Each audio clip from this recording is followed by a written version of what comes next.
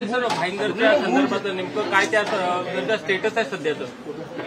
त्याच्यामध्ये तेरा आरोपींना अटक केलेली आहे.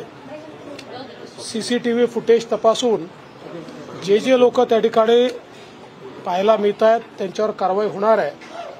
आणि कुठल्याही परिस्थितीत अशा गोष्टी खपवून घेतल्या जाणार नाही. अत्यंत कडक कारवाई ही त्या ठिकाणी केली जाईल.